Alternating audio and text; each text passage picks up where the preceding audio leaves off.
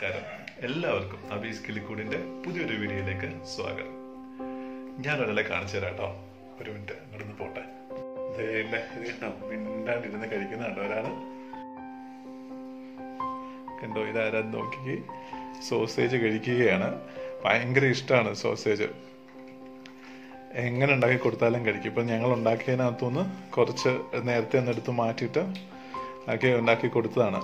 അത് എരിവൊന്നും ഇല്ലാതെ. കണ്ടില്ലേ ഇരുന്ന് കഴിക്കുന്നേ? സൂപ്പറാണോ എന്റെ മോനെ. അപ്പൊ ഞങ്ങൾ എങ്ങനെ ഉണ്ടാക്കിയതെന്ന് കണ്ടിട്ട് വരാം.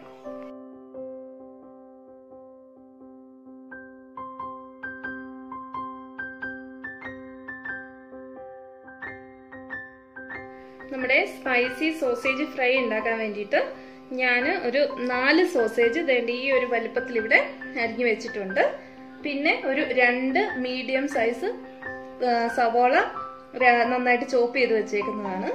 പിന്നെ മല്ലിപ്പൊടി ഉണ്ട് ഒരു രണ്ട് ടീസ്പൂൺ മല്ലിപ്പൊടി ഉണ്ട് ഒരു ഒരു ടീസ്പൂണ് ജീരകപ്പൊടിയാണ്. പിന്നെ എരിവിന് വേണ്ടിയിട്ട് നമ്മളിവിടെ ചേർക്കുന്നത് കുരുമുളക് പൊടിയാണ്. അപ്പൊ അതൊരു രണ്ട് ടേബിൾ സ്പൂൺ എടുത്തിട്ടുണ്ട്. നമ്മുടെ എരിവിനനുസരിച്ച് അത് അങ്ങോട്ടും ഇങ്ങോട്ടും മാറ്റാവുന്നതാണ്. പിന്നെ മഞ്ഞൾപ്പൊടി. മഞ്ഞൾപ്പൊടി ഒരു കാൽ ടീസ്പൂൺ മതിയാവും. പിന്നെ സീസണിങ്ങിന് വേണ്ടിയിട്ട് നമുക്ക് ഇത് വെളുത്തുള്ളി. ഒരു അഞ്ചാറ് അല്ലി വെളുത്തുള്ളി ഉണ്ട്. അതിങ്ങനെ വട്ടത്തിൽ അരിഞ്ഞു വെച്ചതാണ്. പിന്നെ കുറച്ച് കരുവേപ്പിലയുണ്ട് പിന്നെ ആവശ്യത്തിന് കടുക് വേണം. പിന്നെ നമുക്ക് കുറച്ച് കായം കൂടി ഇതിനകത്ത് നമ്മൾ ചേർക്കുന്നുണ്ട്. അതൊരു പ്രത്യേക ടേസ്റ്റാണ് ആ കായം ചേർത്ത് കഴിഞ്ഞാൽ ഇത്ര സാധനങ്ങളാണ് നമുക്ക് ഇതിന് വേണ്ടത്. അപ്പം നമുക്കിത് എങ്ങനെയാണ് ഉണ്ടാക്കുന്നതെന്ന് നോക്കാം. നമ്മുടെ സോസേജ് ഫ്രൈ തയ്യാറാക്കാൻ വേണ്ടിയിട്ട് ഞാൻ പാൻ അടുപ്പത്ത് വെച്ചിട്ടുണ്ട്. അപ്പോൾ അതിലേക്ക് ഒരു രണ്ട് സ്പൂൺ എണ്ണ ഒഴിച്ചു കൊടുത്തു. എണ്ണ നല്ല ചൂടായി വന്നപ്പോൾ അതിലേക്ക് ആവശ്യത്തിനുള്ള കടുക് ഇട്ട് കൊടുക്കാം. അപ്പോൾ കടുക് നന്നായിട്ടൊന്ന് പൊട്ടി വരുന്ന വരുമ്പോൾ നമുക്കതിലേക്ക് അരിഞ്ഞു വെച്ചിരുന്ന വെളുത്തുള്ളി ചേർത്ത് കൊടുക്കാം. അപ്പോൾ വെളുത്തുള്ളിയുടെ ആ ഒരു പച്ചക്കുത്ത് പോകുന്നോണം വരെ നമ്മൾ നന്നായിട്ടൊന്ന് വഴറ്റിയെടുക്കണം.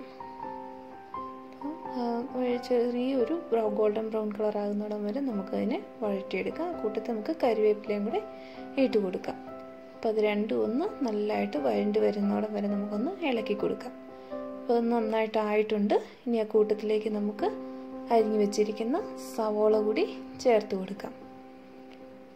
ഇപ്പോൾ സവോള നമുക്ക് നല്ല നല്ല ഗോൾഡൻ കളർ ബ്രൗൺ ആകുന്നോടം വരെ നമ്മളതിനെ വഴറ്റിയെടുക്കണം.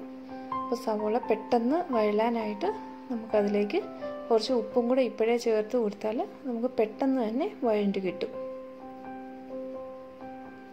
നമുക്ക് ആവശ്യത്തിനുള്ള ഉപ്പ് ചേർക്കാം.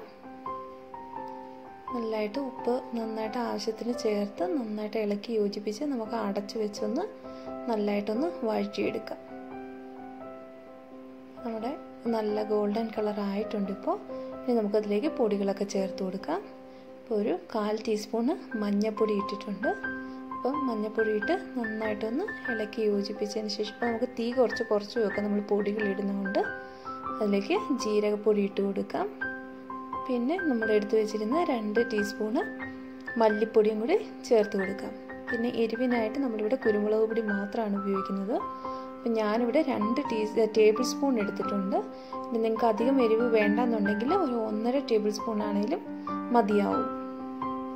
ഇപ്പം ഇതിന്റെയൊക്കെ കൂട്ടത്തിൽ നമ്മൾ ആ കായപ്പൊടിയും കൂടെ ചേർത്ത് കൊടുക്കുക. കായപ്പൊടി ഇടുന്നത് അതിനൊരു പ്രത്യേക ടേസ്റ്റ് തന്നെയാണ്. അപ്പോൾ ഉറപ്പായിട്ടും നിങ്ങൾ ഉണ്ടാക്കുമ്പോൾ കായപ്പൊടി ഇടാൻ മറക്കരുത്. ഒരു ഒത്തിരി ഒന്നും വേണ്ട വളരെ കുറച്ച് മതി. ഇച്ചിരി കായപ്പൊടിയും കൂടെ ചേർത്താൽ അതിനൊരു പ്രത്യേക ടേസ്റ്റാണ് ഇനി ഈ പൊടികളുടെ എല്ലാ പച്ചക്കുത്ത് പോകുന്നോളം വരെ നന്നായിട്ടൊന്ന് ഇളക്കിയെടുക്കണം.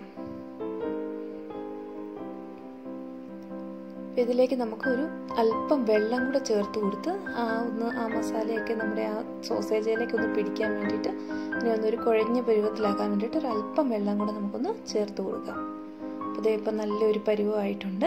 ഇനി നമുക്കിതിലേക്ക് സോസേജ് ആഡ് ചെയ്ത് കൊടുക്കാം.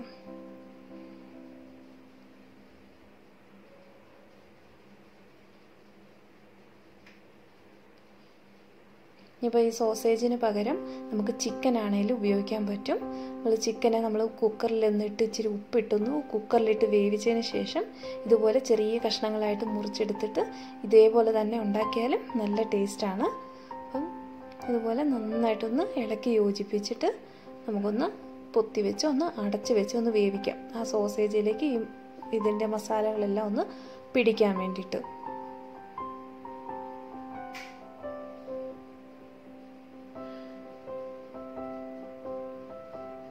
ഇപ്പം നമ്മുടെ സോസേജ് ഫ്രൈ നല്ലതായിട്ട് നല്ല പരിവായിട്ടുണ്ട്. നമുക്കൊരു കുറച്ച് നേരം അതൊന്ന് തുറന്ന് വെച്ച് കഴിഞ്ഞാൽ അതിൽ വെള്ളമയമൊക്കെ ഉണ്ടെങ്കിൽ അതൊക്കെ ഒന്ന് പോയി കിട്ടും. അപ്പോൾ നല്ല സ്വാദിഷ്ടമായിട്ടുള്ള സോസേജ് ഫ്രൈ റെഡി ആയിട്ടുണ്ട്. ഇത് നമുക്ക് ദോശയുടെ കൂടെയോ അല്ലെങ്കിൽ ചപ്പാത്തിയുടെ കൂടെയോ ചോറിന്റെ കൂടെയോ ഒക്കെ കൂട്ടി കഴിക്കാനായിട്ട് വളരെ നല്ലതാണ്. അപ്പോൾ എല്ലാവരും ഒന്ന് ട്രൈ ചെയ്ത് നോക്കണം. ഇതിന്റെ കൂട്ടത്തിൽ നമ്മൾ ഒരു ഇച്ചിരി നാരങ്ങ നീരും കൂടെ ഒഴിച്ചാൽ അതിനൊരു പ്രത്യേക ടേസ്റ്റാണ്. നല്ല പുളി ഇഷ്ടമുള്ളവർക്ക് നാരങ്ങ നീരൂടെ ചേർത്താൽ നല്ലതാണ്. വളരെ ഈസിയും ടേസ്റ്റിയുമായിട്ടുള്ള ഒരു റെസിപ്പിയാണ്. എല്ലാവരും ട്രൈ ചെയ്ത് നോക്കണം. ട്രൈ ചെയ്താൽ മാത്രം പോരാ നിങ്ങളുടെ അഭിപ്രായങ്ങൾ കമന്റിലൂടെ ഞങ്ങളെ അറിയിക്കണം. ഞങ്ങളുടെ ചാനൽ സബ്സ്ക്രൈബ് ചെയ്യുക മാക്സിമം ഷെയർ ചെയ്യുക ലൈക്ക് ചെയ്യുക. വീണ്ടും നമുക്ക് പുതിയൊരു വീഡിയോയുമായിട്ട് കാണാം.